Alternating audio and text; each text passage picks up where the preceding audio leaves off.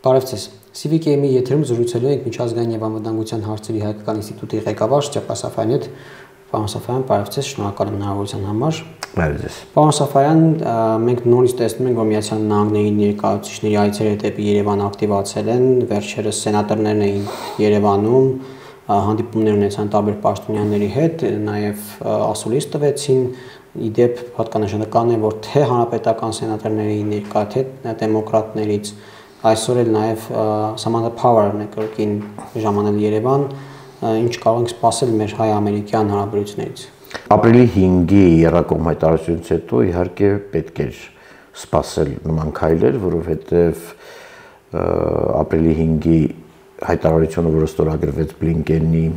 Շարլ Միշելի, Ուրսուլա ֆոն դեր Լայենի եւ Նիկոլ Փաշինյանի կողմից, վերաբերում է Հայաստանի Հանրապետության արտաքին քաղաքականության, ընդհանրապես քաղաքականությունների դիվերսիֆիկացիային։ Եկեք չտարանջատենք արտաքին ու ներքին քաղաքականությունները, որովհետեւ ապրիլի 5-ի հայտարարության նպատակն է ուղակի թույլատրել Հայաստանի կախվածությունները, միակողմանի կախվածությունները այն շուկաներից, կենտրոններից, որոնք կարող են այդ կախվածությունը օգտագործել Հայաստանի Հանրապետության դեմ, առավել եւս պատերազմից հետո, առավել եւս 23 թվականի Արցախի հատապումից հետո եւ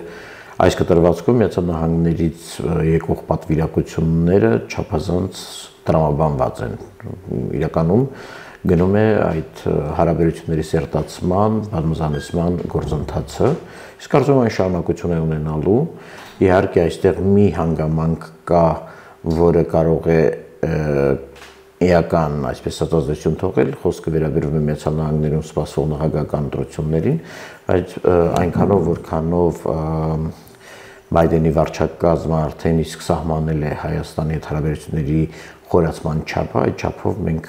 կունենանք համագործակցություն եւ խորացում մինչեւ նոյեմբեր, մինչեւ ընտրություններ եւ դրանից հետո արդեն տեսանելի կլինի թե ինչ իշխանություն է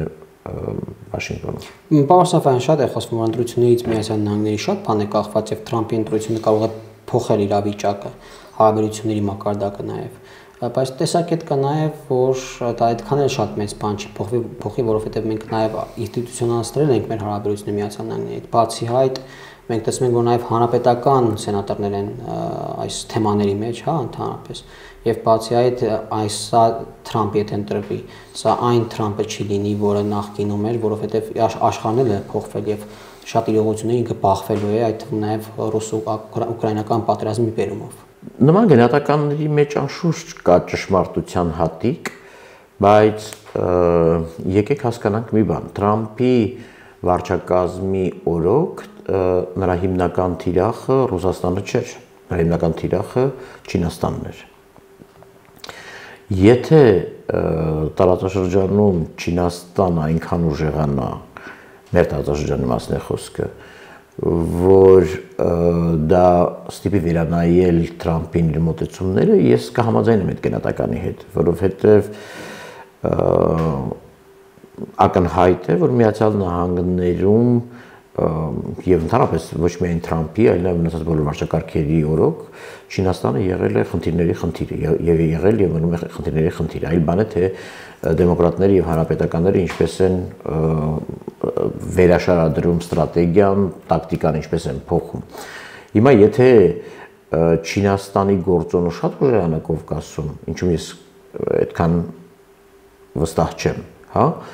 Այդ դեպքում, այո, մենք կարող ենք ունենալ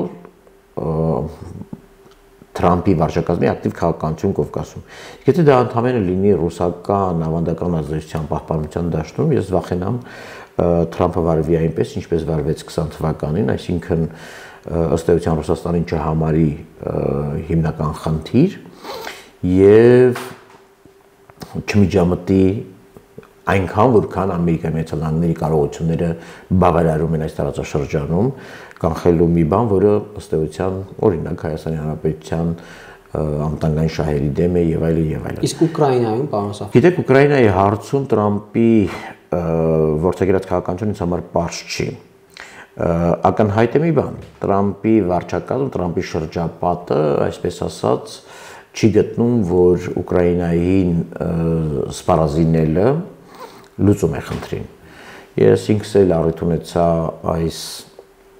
տարվա Մյունխենի անդամության կոնֆերանսում հետևելու այդ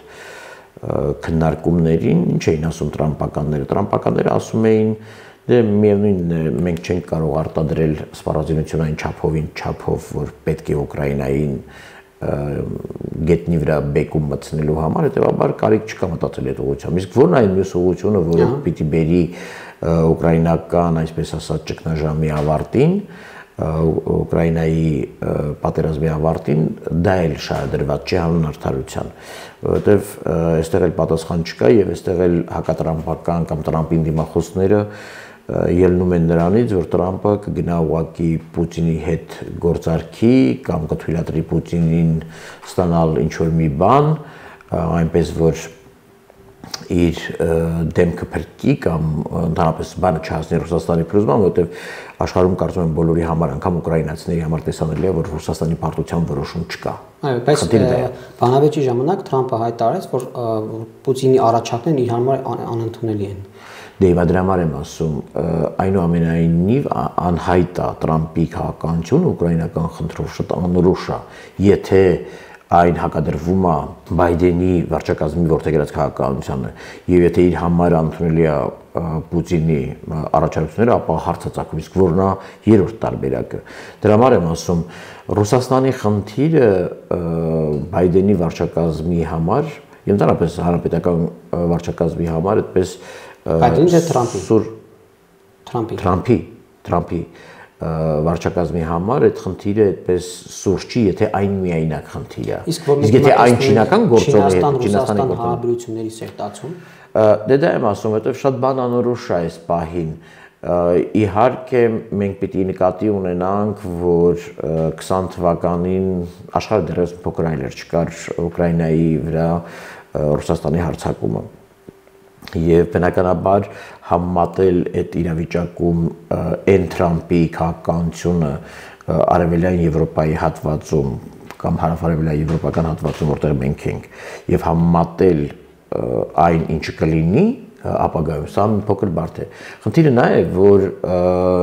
այս պահի դրությամբ հատկապես ուկրաինական ճգնաժամից հետո տեսանելի է, որ արևմուտքը իր հարաբերությունների իսպար խզման պայմաններում Ռուսաստանը թեքվել է դեպի ոչ միայն Չինաստան, Հնդկաստան, այլ նույնիսկ անգամ Հյուսային Կորեա։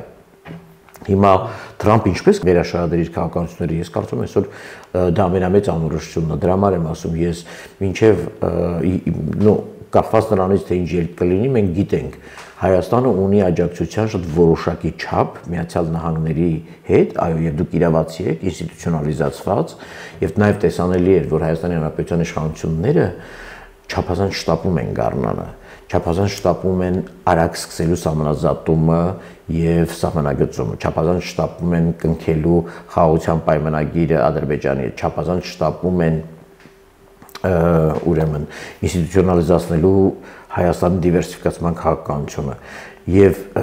որն էր այդ շտապողականության պատճառը պատճառը նա էր որովհետեւ կային լիքը անորոշություններ աշնան վրա ամռանը ի վերջո անհայտ էին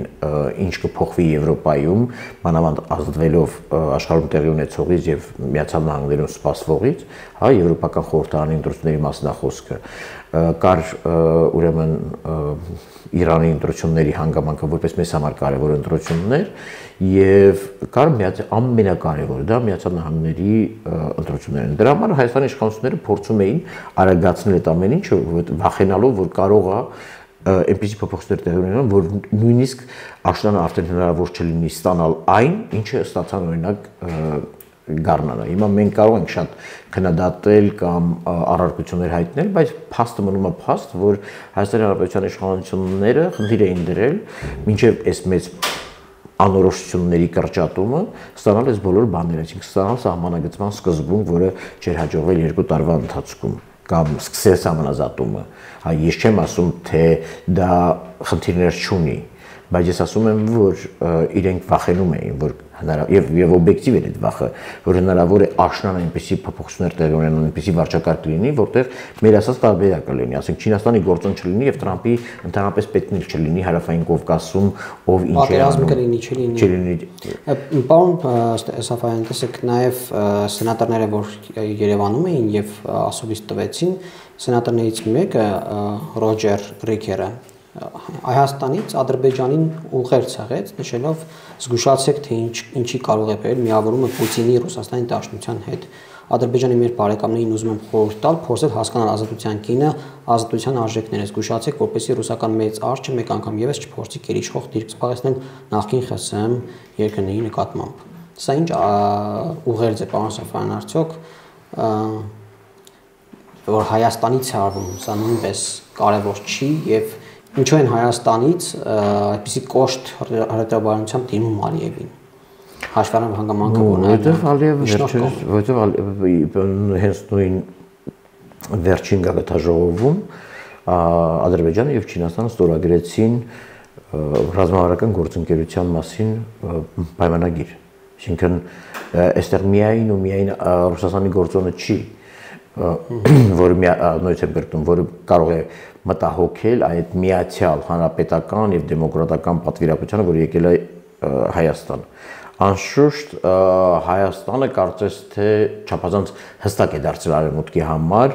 որտեղ կարող է լինել, որտեղ չի կարող լինել, ինչ ծրագրերում կարող է լինել, ինչ ծրագրերում չի կարող լինել, ինչին կարող է աջակցել, ինչին չի կարող աջակցել։ Այս առումով դրա համար հայաստանյան հարթակից հնչում այդ հայտարարությունները, որովհետև Ալիևի վարչակազմը հավասարապես խաղ է սկսել եւ Ռուսաստանի հետ եւ Չինաստանի հետ եւ այդ այդ ամբողջը դրանք միայն երկկողմ հարաբերությունների մասին չեն, դրանք հենց նաեւ Կովկասում արևմուտքի թուլացմանը ուղղված քայլեր են ռուս-չինական եւ դրա համար հարկ են համարում Ալիևին զգուշացնել դրա հետևանքների մասին, որովհետեւ այդ խաղը Ռուսաստանի դեպքում միայն ու միայն Միացյալ Նահանգներին կամ Արևմուտքին պատժելու մասին չի, կամ Չինաստանի համար Արևմուտքին, այսպես ասած, Արևմուտքի փոխարեն, այսպես ասած, ուժեղանալու մասին չի։ Ռուսաստանի դեպքում այդ խաղը այո ազդեցության գոտիները պահելու պահելու հարց է իսկ արդեն ռուսական քաղաքականությունը եւ կրեմլյան քարոշչությունը չի էլ թաքցնում որ ընդհանուր առմամբ ինքը չի էլ դիտարկում հավասար հարաբերություններ հետսովետական տարածքի երկրների հետ, Ղազախստանի, Հայաստանի հետ եւ այդ ուղակի բացի սատելիտ սատելիտի կարգավիճակ, որի բան վերապահված չէ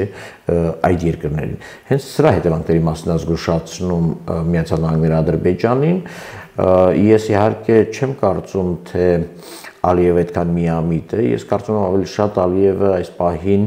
շանտաժով կամ այդ արկա պատոհանով, որը ստեղծվել է Չինաստանի եւ Ռուսաստանի հետ հարաբերությունները խորացնելու տեսքով, ինք ուղղակի թանկացնում է իր գինը, որպեսզի Միացյալ Նահանգները վճարի այդ գինը։ Ի վերջո Ադրբեջանի բոլոր քաղաքական գործարքների այսպես ասած վճարամիջոց եղել են հայկական շահերը, այսինքն նա պահանջել է, որպեսզի կամ աչք փակեն Հայաստան դեմ արվածով կամ ուրեմն վճարվի ինչ որ մի բան հայերի հաշվին, հա, հայկական տարածքների հաշվին, Ալիև այս պահին ուղակի ինքը գինը թանկացնում իր։ Նա գիտի, որ կա սահման, որը չի կարող անցնել եւ նաեւ միգուցե ունի նաեւ նաիվություն, որ Տրամպի ժամանակաշրջանը լինելու է այնպեսին, ինչպեսին 20 թվականը եւ իրեն թույլատրվելու է ամեն ինչ անել դրա համար վստահաբար նաեւ շարժում է դեպի Ռուսաստան կամ սիրախաղը շարունակում է Ռուսաստանի հետ, բայց բոլոր դեպքերում ակնհայտ է, որ Միացյալ Նահանգները նրան, այսպես ասած, առայժմ ոչ գործադիրի խողովակներով, բայց ուղերձ են հղում այլ Հայաստանի տարածքից։ Պարոն Սաֆարյան, տեսեք Միացյալ Նահանգների համար խոսքի գնում, որ կարևոր է խաղաղության պայմանագրի ստորագրումը Ադրբեջան-Հայաստան իրար միջև, արդյոք ինչ մասշտաբի կարևորություն է իրանց համար, թե դա ընդհանրապես նախընտրական կարևորություն ունի կամ արդյոք ունի այդպիսի կարևորություն թե ոչ, եւ նաեւ տարածաշրջանային կոմունիկացիաների առումով ու այդ դեպքում մենք կարող ենք ակնկալել, որ միջև նախագահական ընտրությունները Միացյալ Նահանգներում այդ փաստաթուղթը կստիպեն Ալիևին ստորագրել։ Ես Հավասարապես դա կհամարեի ներքաղաքական նշանակության փաստաթուղթ Բայդենի վարչակարգի համար։ Ի վերջո նախընտրական շրջանում այն էլ այսպիսի իրավիճակում, երբ հերոստաբանավեճերը չեն գնահատվում ամենևին եւ Քարոզ Արշավի ներկայիս ընթացք չեն գնահատվում ամենևին Բայդենի օկտին, այս իրավիճակում իհարկե Բայդենին պետք է նման խաղակարդ։ Միացյալ Նահանգները հենց նաև դրա պատճառով ուժեղացնում ճնշումները Ադրբեջանի նկատմամբ եւ Ալիևն էլ գիտի, որ այդ ճշումները իսպար թույլատրել չի կարող եւ ինքը փորձելու է իմ կարծիքով մաքսիմալ թույլատրել այն փաստաթղթի հետևանքները, որը նույնիսկ հնարավոր է ստորագրել, այսինքն ստորագրի մի բան, Այսինքն շրջանառ որը միգուցե Միացյալ Նահանգներում ներքին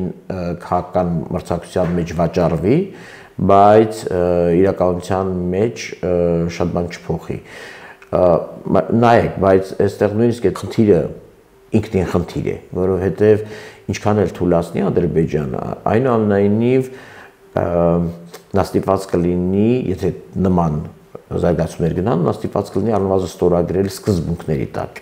ինչը միջև հիմա չի էլ արել։ Ինքը այդ սկզբունքներին համաձայնություն տվել է բազում փակ սենյակներում, հա, այդ թվում եւ Վաշինգտոնում, այդ թվում եւ Եվ նաեւ փոխանակման է տարբերակներում։ Բայց բայց երբեք դա հրաապարակային չի դարձվել, երբեք դա չի ֆիքսվել Ալիևի ստորագրությամբ գիտեք որ Հայաստանի կողմից Ադրբեջանին ուղարկված 9-րդ խմբագրումը այսպես ասած ավելի բարձեցված տեքստ է, քան նախկին 8-րդ եւ դրա նախորդող տարբերակներ, որոնք փորձել են, ասած, հարաբերություններում արկա հնարավոր խնդիրները ավելի դետալ լուծել։ Հիմա այդ բարդությունները խոճուճ մասը հանվել է, անգամ դա Ադրբեջանը ստորագրել ինքը ուզում է թույլաtsնել այդ ամեն ինչը, անորոշությունները մեծացնել, որպեսզի կարողանա մեկնաբանել, բայց ինչքան թույլաtsնի, եթե ասենք խոսքը միևնույն է հիմնարար սկզբունքի մեջ, եթե ամրագրվի Ալմաթի, ենթադրենք թե սրճակագիրը եւ եւ սահմանագծման ենթադրենք պարտավորությունը միմյանց դրա չհարցակվելու պարտավորությունը, հա, վեճերը խաղաղ լուծելու ենթադրենք պարտավորություն, ինչքան էլ parzեցվի սկզբունքները, միևնույնն է դա էլ Ալիևի համար խնդիր։ Դրա համար Ալիևը ինքը փորձում է ուղղակի հա, իր մաքսիմում նպատակը ձգձգելն այնպես որ չստացվի եւ Ամերիկան չստանա այն, ինչ ուզում է ստանալ, հա, եւ չտա նաեւ Հայաստանն այնինչ Հայաստանը անհրաժեշտ է, բայց մյուս կողմից էլ ինքը հասկանում է, որ այդ ճնշումները կարող են այնքան մեծ լինել, որ միևնույն աստիված ինչ որ բան ստորագրի դրա համար դրա համար Ադրբեջանին Հայաստանն ուժեղացնելու միջոցով թե նաեւ ուղի նայեք խաղը այնպես է կառուցվել ընդհանուր առմամբ ապրիլի 5-ի տեքստը, եթե մենք մի փոքր ավելի པարզ բացենք, հետեւյալի մասին է։ Ապրիլի 5-ն է ճնշումը, այո, Ադրբեջանի վրա Ապրիլի 5-ը Հայաստանի համար բացում է բազմաթիվ դռներ, որոնք նախկինում բաց չէին կոնֆլիկտի պատճառով, Ռուսաստանի ստեղծած ստրուկտուրաներին անդամակցելու պատճառով ԵԱՏՄ, ՀԱՊԿ եւ այլ եւ այլն եւ հիմա ինչ են ասում Ադրբեջանը ասում են Ադրբեջանը իցույց է դրել արդեն իր իր մտահոգությունները եւ վախերը Ադրբեջանն ասում է իմ ու Հայաստանի միջև քո վերաբերմունքը նույնը նույնը պահի Նրանք ասում են լավ, նույնը կպահենք մի պայմանով, եթե դու նույնքան հավատարիմ լինես միջազգային խաղականներին, որքան Հայաստանը։ Հենց նա շեղվում է, այստեղից սկսում են բալանսը փոխել։ Ադրբեջանին պատժելու համար։ Ու ուրիշ ոչինչ հակադրբեջանական քայլ չեն անում։ Հզորացնելով Հայաստանը։ Ուղղակի հզորացնել Հայաստանին, որը ավելի է իսկ իսկ դա միայն նայեք հիմա դեռևս ռազմական բալանսը վերականգնված չի դա խախտված եղել շատ շուտ բայց առաջին փոփոխությունը տեղի ունենում ստրատեգիական բալանսում, ռազմավարական բալանսում։ Այսինքն Հայաստանը ավելի ուժեղ ուժային կենտրոնների աջակցություն է ստանում, քան Ադրբեջանը։ Հենց դա ռազմավարական բալանսի ռազմական բալանսի վերականգնումը ժամանակի հարց է։ Այսինքն քաղաքական բալանսն է վերականգնում։ Այո, եթե Ադրբեջանը ինքը իրան այսպես ասած հնազանդ չի պահում, խելոք չի պահում, հզորացնում են Հայաստան, այսինքն փոխում են ռազմական բալանսը հոգուտ Հայաստանի։ Ինչը անհանգստացնում է Ադրբեջանը, որտեղ գիտի դրան հաջորդելու է ռազմական բալանսի նաև վերականգնում, միգուցե փոփոխություն եւ այլ եւ այլ։ Դրա համար ինքը, այսպես ասած, ինք, ինքն էլ լուրջ խնդիր ունի Ադրբեջանը։ Եթե ինքը բավարարում է եւ պահպանվում է հավասարությունը եւ եւ Հայաստանն են ասում դու խելոք տղա ես եւ Ադրբեջանն են ասում դու խելոք տղա ես եւ երկուսին էլ հավասարապես օգնում են, դեպքում Ադրբեջանը ստիպված է հրաժարվել այն պլաններից, որը ունի։ Այդ դեպքում Ադրբեջանը ստիպված է դուրս գալ այն խաղերից, որոնք Միացյալ Նահանգների դեմ են դա ռուսական խաղն է, դա չինական խաղն է, դա 3+3-ի խաղն է եւ այլ եւ այլ։ Այս ամբողջից, բայց նաեւ եւ որ ինքը դուրս է գալի դրանից, ինքը ստիպված է արդեն կատարել այն ինչ որ սահմանագծել իդ քաշել իր դիրքերը Հայաստանի Հայաստանում իր գրաված տարածքներից հրաժարվել, այսպես ասած, արևմտյան ադրբեջաններից հրաժարվել սահմանադրություն փոխել եւ նման պահանջներից եւ այլ եւ այլն ինքը ընթառաջ է գալիս եւ կառուցողական է պահում ինքը պիտի դուրս գա այն մյուս վտանգավոր խաղերից եթե ինքը մնում է այնտեղ Հայաստանի շուրջ ռազմավարական բալանսը փոփոխվում է։ Ջեյմս Օբրայնը շատ է խոսում նաև միջին միջանցքից Ադրբեջան, Հայաստան, Թուրքիայով անցնող այդ ճանապարհից, որը հնարավոր է միայն եթե խաղաղության պայմանագիրը լինի։ Հիմա եթե չի ստացվում ու Ադրբեջանի ստիպված են ճնշել Հայաստանին ուժեղացնելով եւ Ադրբեջանը ընկնում է հա այդ դաշտ, չինա-ռուսական դաշտ, այսինքն այդ պլանը եւս ցախողվում ու եթե ցախողվի արդյոք միացյալ նահանգների հետաքրքրությունները կշարունակեն մնալ դուք ինքներդ արդեն բերեցիք այնտեղ ինչ ես ասացի ադրբեջանը հենց այդ տիրույթում է շանտաժանում որ եթե անգամ նույնիսկ հայաստանին ավելի շատ օգնեն վեր այսպես փոփոխեն ռազմավարական բալանսը հոգուտ Հայաստանի, Այդ դեպքում ինքը գոնե կարողանա այդ Միջանցքի շանտաժով ուզես չուզես, որովհետև միայն որովհետև նաև ճանապարհները հավասարապես կարևոր են, այդ դեպքում հանուն ճանապարհների միգուցե միացյալ նահանգները կոտրվեն եւ չպատժեն Ադրբեջանին։ Հենց այդ դա է հարցը, արդյոք եթե այդ ճանապարհի խնդիրը ցախողվում է լուծելը, արդյոք միացյալ նահանգների շահագրգռվածությունը Հայաստանի նկատմամբ բավարար է մնում, որպեսզի իրենք շարունակեն ջանքերը աջակցել ռազմավարական բալանսը ուղղել դեպի Հայաստան։ Դա կախված կլինի նրանից, թե ուրիշ ինչ խաղ ունի Միացյալ Նահանգները։ Եթե այստեղ խնդիրը նա է, տեսեք Իրանում ինչպիսին են լինեն փոփոխությունները, բոլոր դեպքերում բարեփոխիչներն են բերվել իշխանության։ Եվ իհարկե Տրամպի վարչակարգի դեպքում մի փոքր դժվար է պատկերացնել, եթե անգամ այս մյուս կողմում ավելի այսպես բաց քաղաքական ղեկավարություն է նորից նստելու սեղանի շուրջ միացյալ նահանգների հետ ինչու եմ սա ասում որովհետև իհարկե Հայաստանը այսպես ասած միայն կետ չի միացյալ նահանգների համար որով ազդում է ինչ որ պետությունների վարկագծի վրա Հայաստանը նաև դա ինչ որ տարածքի ճանապարհի մի մաս է եւ այստեղ Միացյալ Նահանգների այլընտրանքը կարակապ ունենա ուղակի զուտ արդեն Հայաստան, Իրան եւ այս այս այս այս գծի հետ։ Բայց նայեք անորոշությունները այնքան շատ են մեզանից կախված, որ կախված լինելու է ամեն ինչը թե ի վերջո իսկապես Միացյալ Նահանգներում ով է ընտրվելու նորից վերադառնում ենք առանցքային խնդրին։ Մենք գիտենք ով է ընտրվել բանից Իրանում մենք գիտենք, որ այդ ռեժիմը ավելի այսպես բարենորոգչական եւ ավելի ավելի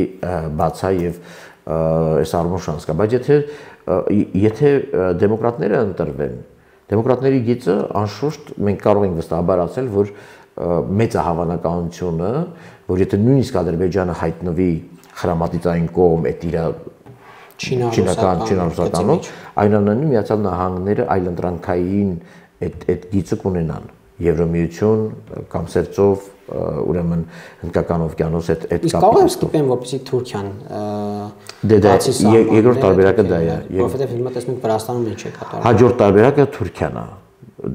էլի վերադառնում ենք նրան ով ով է ընտրվելու միացյալ նահանգներում շատ կարևոր է այդ այդ ընտրությունները ուղղակի համամոլորակային նշանակություն ունեն եւ դրանից կախված է այս ռեգիոնի եւ հետագա զարգացումները եւ ճակատագիր եւ այլ եւ այլ։ Անկամ տեսեք մենք լավ հարցից սկսեցինք։ Մենք նույնիսկ չգիտենք էլ այդ Տրամպը 20 թվականի միջավայր Տրամպի Տրամպն է եւ այդ քաղաքացիներ վարելու թե արդեն ըստ էության ուկրաինական պատերազմը եւ այս հստակեցումները, որոնք այն ժամանակ չկային, հա, այն ժամանակ չկային այս այսպես բացահայտ ծրագրեր, որոնք, ասենք, սանափակեին Միացյալ Նահանգների խաղը տարածաշրջանում։ Հիմա Հայաստանը նվազագույն դեպքում, նվազագույն դեպքում Միացյալ Նահանգների համար մնալու է այս բոլոր հարևանության վրա ազդելու կետ։ Այդ իհարկե Միացյալ Նահանգները ճիշտ է ասում, շագրված է նաև միջանի միջին միջանցքով, որտեղ այնտեղ կա նաև կենտրոնական Ասիայի խնդիրը, եւ դրա համար եմ ասում, Ադրբեջանի խաղը բավականին բարդ է Ադրբեջանը պատահական չի որ գնացել է եւ ինքն էլ հայացքը թեքել դեպի արևել, դեպի կենտրոնական Ասիա, փորձում է մի մի կողմից շանտաժ անում, որ եթե դուք իմ պահանջները չբավարարեք, ես կմիանամ հակախաղին, բայց մյուս դեպքում մտել է միտեղ, որտեղ ինքը կարա յետ դարձանի եւ այսպես ասած մտնի այն մյուս խաղի մեջ բայց իհարկե իր իր ցանկալի ստանալու Եվ վերջում պարոն Սաֆարյան Վրաստանի իրավիճակը Եվրամիության դեսպանը Վրաստանում հայտարարել որ ըստ էության սառեցվել է եվրո ինտեգրումը, հա, Վրաստանի, նաև 30 միլիոն դոլարի աջակցությունը, որ պետք է տրամադրվեր Վրաստանի բանակին։ Դա են կասեցրել չեն տրամադրելու նաև զորավարժություններ ՆԱՏՕ-ի հետ չի անցկացնելու Վրաստանը, փոխարենը Հայաստանն է մասնակցելու այդ զորավարժություններին ինչ է կատարվում եւ ինչ կարող ենք սպասել։ Անորոշությունից մեկը հենց Վրաստանն է։ Իհարկե փոքր անորոշություն է ինքը, բայց լոգիստիկ առումով Հայաստանի դիվերսիֆիկացման, Հայաստանի քաղաքականության դիվերսիֆիկացման տեսանկյունից կարևոր է։ Հենց դրա համար Հայաստանի հետ կապված մի շարք անորոշություններ չեն կրճատվում։ Հիշեք միայն այն, որ տակավին վերջերս ի պատասխան հանրային խորհրդանական լսումների, որտեղ մենք եւ քաղաքական այլ շրջանակ ուժեր պահանջում ենք Եվրոհանրակվե նշանակել, հա, ինչ ասեց Փաշինյանն, ասեց հանրակվե նշանակելու դեպքում եւ որ հայաստանյան քաղաքացին մոտենա ինձ եւ որոշ հարցերի պատասխանուց պատասխանը չունեմ իսկ այդ պատասխանը չունի նաև արևմուտքը, որովհետև եւ դրա համար եմ ասում, անգամ ապրիլի 5-ին, երբ մենք փորձում ենք հասկանալ թե ինչպեսին է լինելու տեքստը, ինչպեսին է լինելու դիվերսիֆիկացման խորությունը, ընդգրկումը եւ այլ եւ այլն, այդ օբյեկտիվ առումներով մի շարք հարցերի պատասխան չէր կարող լինել, որովհետև կային այս անորոշությունները, անհասկանալի էր թե ինչ է լինելու Վրաստանի ապագան, որովհետև Վրաստանը եւ Հայաստանը ուզենք թե չուզենք մեկ սկուտերի վրա են, մեկ մեկ զամբյուղի մեջ են։ Եվ եթե Վրաստանի խնդիրը արկախվում է, չի կարա ուղակի այնպեսի ազդանշաններ ուղարկի, որ Հայաստան արի ճանապարհը բաց է։ Հայաստանը Հայաստանը չի կարա։ Նայեք, Հայաստան չի կարա Եվրոմիության Կալինինգրադը լինել։ Չի կարա։ Սահման չունենա։ Սահման չունեն։ Այլ ընդրանքը Թուրքիան Եվ եւ այդ կայուն սահմանը, կայուն սահմանը կարող լինի միայն Վրաստանը մոտական անդամակցության առումով, քանի որ Թուրքիան անդամակցության հերանեկար չունի, այս լիքը խնդիրների պատճառով։ Թուրքիան կարող միայն լոգիստիկ կապը լինի բանի, բայց քաղաքական, տնտեսական եւ մնացած առումներով ինտեգրացիոն առումներով մեր կապը Վրաստանն է։ Հետևաբար, եթե Վրաստանի վերաբերյալ որոշում չկար, չէր կարող ապրիլի 5-ին օրինակ, եթե մեծագույն ցանկության դեպքում նույնիսկ Բլինկենը եւ